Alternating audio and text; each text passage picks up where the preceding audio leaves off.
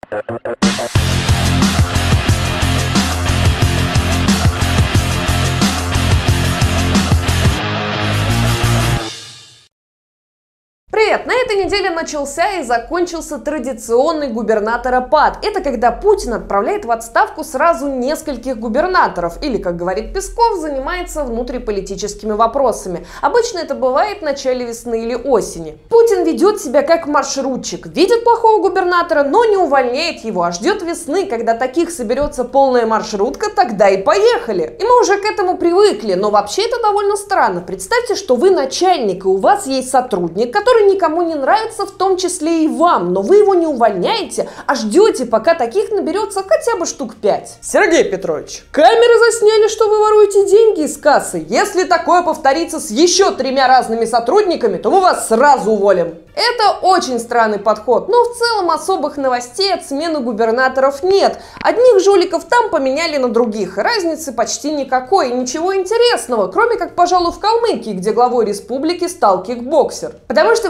во-первых, я узнала, как правильно делать ударение в этом слове, а во-вторых, не могу не заметить довольно резкий скачок в управлении республикой от шахматиста до кикбоксера. Теперь Россия в полной мере готова идти на Киев, ей теперь есть кого выставить против Кличко. На самом деле я, конечно, понимаю, почему управлять Калмыкией ставят спортсменов. Вот типа национальная республика. Там столько кланов непонятных, а нужна стабильность. Вот вам авторитетный человек во главе, который представляет Путина. Российское правительство, в широком смысле слова, относится к национальным республикам как к таким туземцам, которые сами не могут разобраться между собой, и пусть там будет хоть кикбоксер, зато без всяких кланов. Точнее, кланы-то как раз будут. Они по-прежнему будут управлять всем регионом, но во главе должен стоять кто-то путинский. И на самом деле все это происходит, потому что большая и сильная Россия не может обеспечить законность и порядок в Калмыкии, в Чечне, в Дагестане, да и вообще нигде. Поэтому Путину приходится постоянно идти на уступки и принимать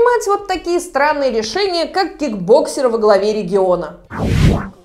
А еще на этой неделе в Татарстане бюджетникам запретили заряжать телефоны на рабочем месте, чтобы экономить электричество. Ну, потому что мы же энергетическая держава, а если каждый будет заряжать телефоны, то все электричество кончится и будем мы не энергетической, а так, обычной державишкой. Ведь энергетическая держава – это когда никто не пользуется электричеством, а всю энергию можно продать в Китай. Вот это реально крутая и великая страна. Кстати, кроме телефонов, бюджетникам также запрещено заряжать заряжать ноутбуки и другую технику, а если ты на работе работаешь со своего, то тебе просто нужно раз в 2-3 часа бегать домой, заряжать его и возвращаться. Также для экономии бюджетникам стоит запретить включать свет в помещении. Они просто должны развить в себе невероятную зоркость, чтобы видеть в темноте. Гражданин, вы что не видите? У нас обед! Ну раз не видите, так приходите с фонариком. Оказывается, старик Шахид Джанян был прав и все это время готовил нас к тому, чтобы стать бюджетниками. Учителя Учителям-то, конечно, проще. Если разрядился телефон, они могут просто отобрать себе другой у школьников как минимум до перемены. И эта новость тоже ведь об отношении правительства. К бюджетникам относится не как к людям, которые спасают жизни и учат детей, а как к дармоедам, которые просто получают зарплату ни за что. А ведь эти деньги можно было бы потратить на новую армату. Великое российское государство не может найти сколько? Ну, полтинник в месяц, чтобы зарядить телефон своего учителя. Потому что для государства единственная функция функция бюджетника – это вовремя вбросить правильные бюллетени, а телефоны и ноутбуки для этого совершенно ни к чему.